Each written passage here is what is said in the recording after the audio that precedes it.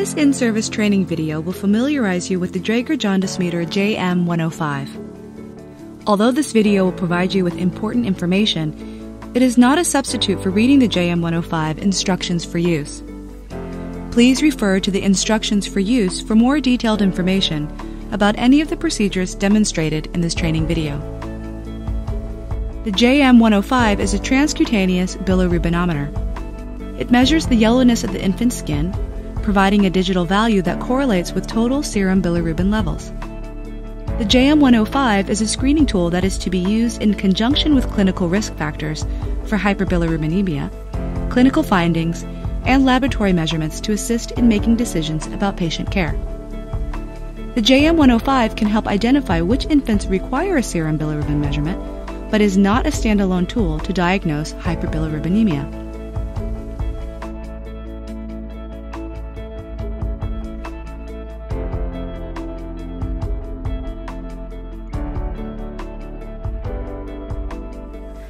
Before using the JM105, it's important to become familiar with the features, controls, and touchscreen display.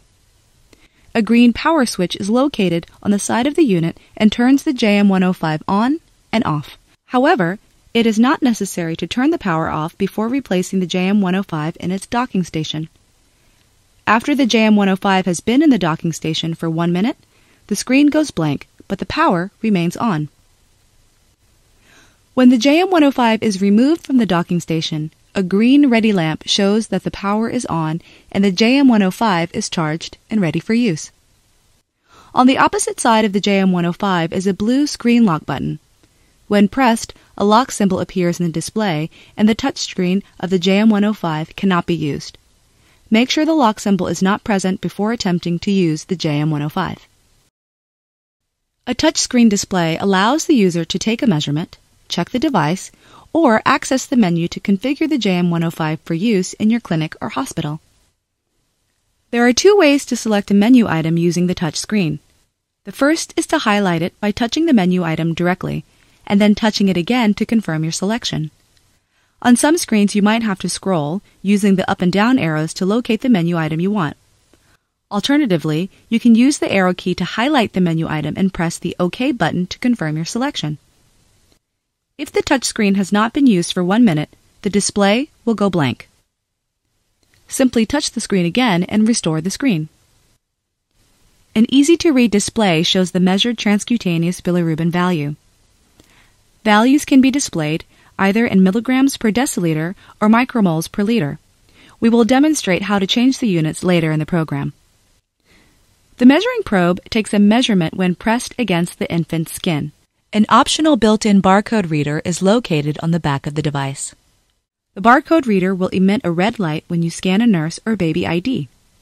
We will demonstrate how to use this later in the video. The JM105 rests in a docking station when not in use with the display facing forward. The docking station allows the JM105 battery to be recharged. The docking station is connected to a power source either by a USB cable to a computer or with an AC adapter, plugged into an electrical outlet. The JM105 should be returned to the docking station when not in use to keep the unit charged. When placed in the docking station, the power comes on and the ready lamp turns orange. When charging is complete, the orange ready lamp shuts off. The JM105 requires two hours for the battery to fully charge. With a fully charged battery, approximately 250 measurements can be taken. We will now demonstrate how to use the JM105, beginning with how to check the light output of the measuring probe. The light output of the JM105 should be checked at least once daily to make certain that the light output is within an acceptable range. This is called a light check procedure. The docking station has a built-in light checker for the measuring probe. Open the lid cover on the front of the docking station to reveal the checker surface, a small black circular area. To begin the light check procedure, remove the JM105 from the docking station. On the main JM105 display, select Checker. The screen displays three vertical symbols, L, S, and delta, indicating that it is ready. Position the JM105 measuring probe perpendicularly on the surface of the checker. Gently press downward until a flash is emitted. Lift the JM105 and observe the display.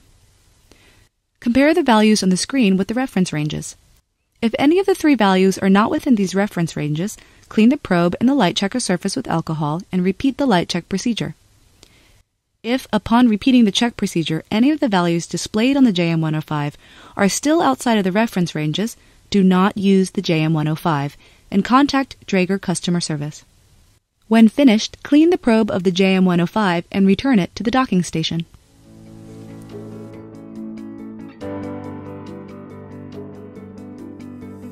We will now demonstrate how to use the JM105 to take a transcutaneous bilirubin measurement on a newborn infant. During this segment, the device will be shown in multiple memory modes memory off, memory only, link on, in order to incorporate all device features. Changing the memory mode is demonstrated in the configuration segment later in the program. First, remove the JM105 from the docking station. The green ready light should come on, indicating that the JM105 is charged and ready to use. If the JM105 was not in the docking station prior to use, it might need to be powered on. If the JM105 is left out of the docking station and not in use for 9 minutes, the power goes off automatically.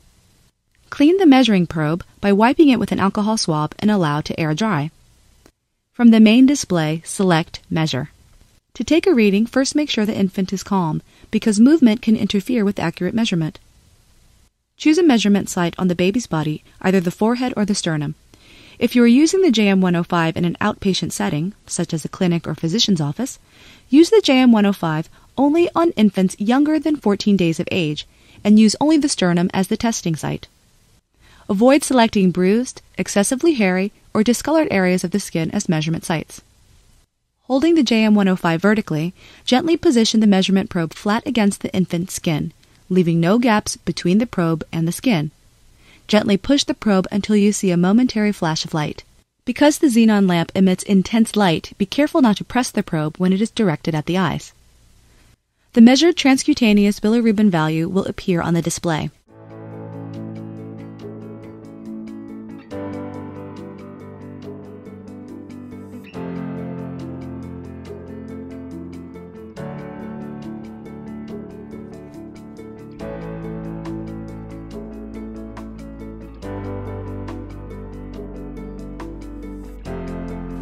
If this happens, you should contact a physician immediately.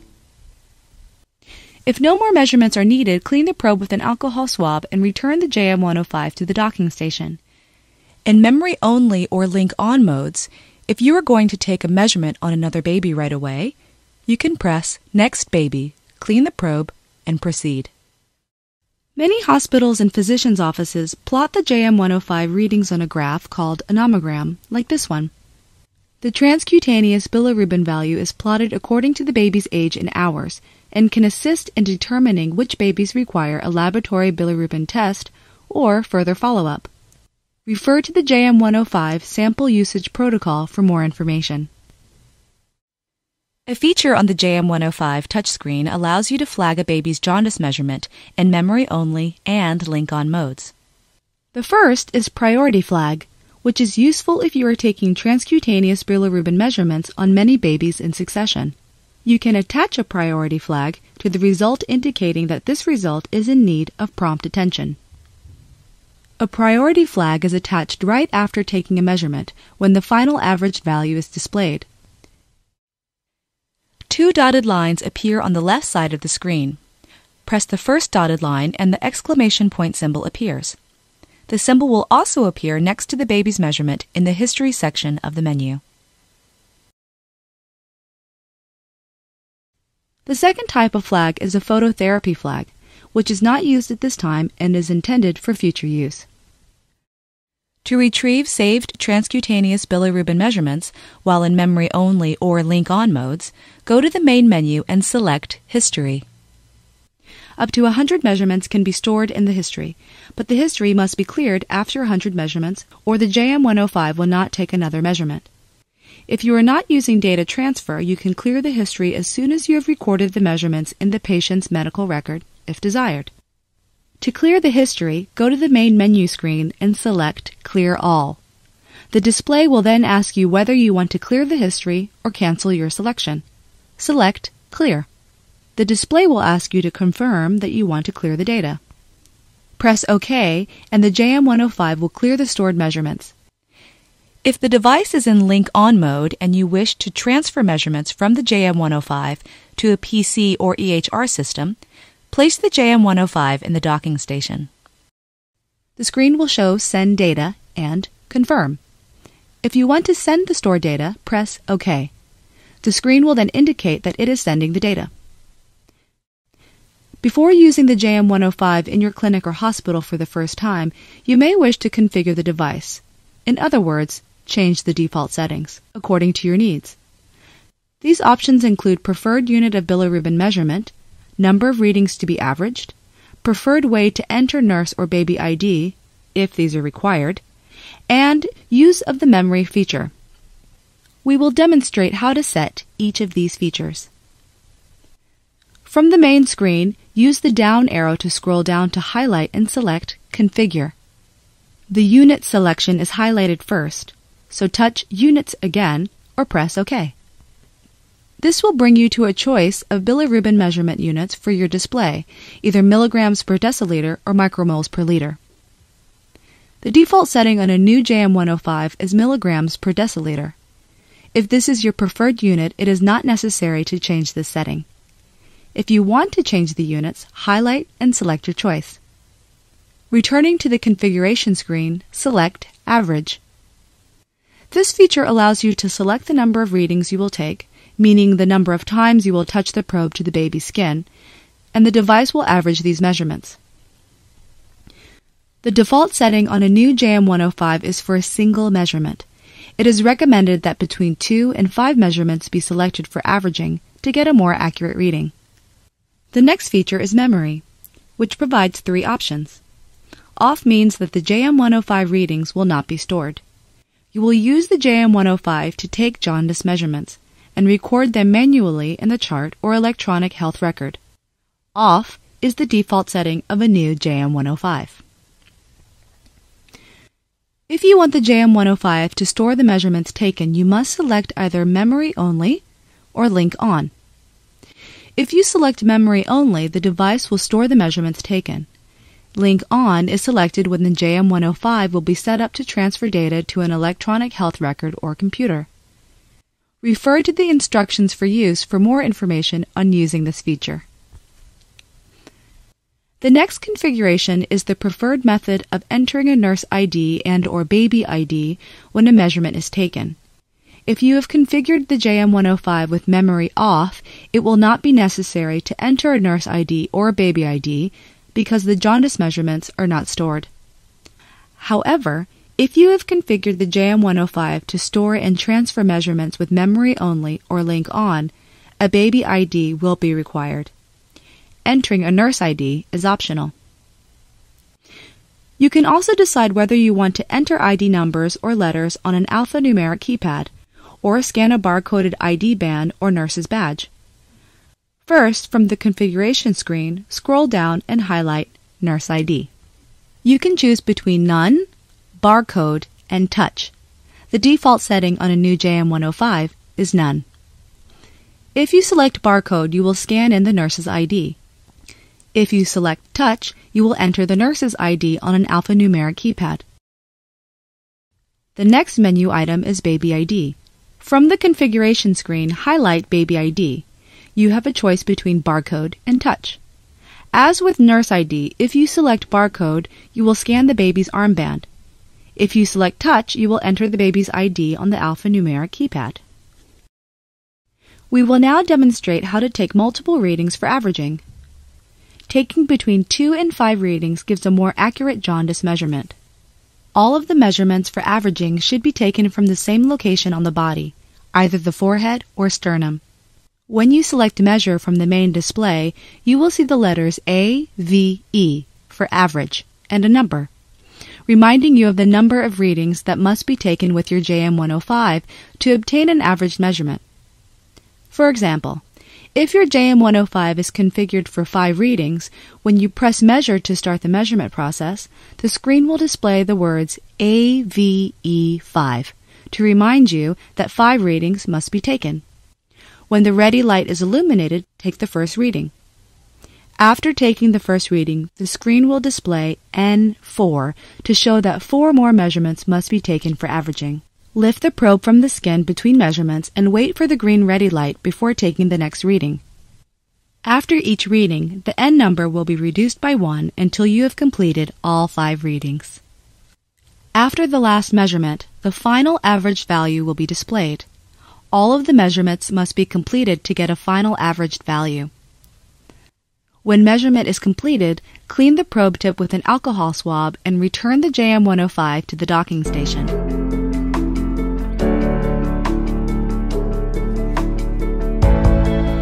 We will now demonstrate how to use the barcode scanner for those whose JM105 has this optional feature.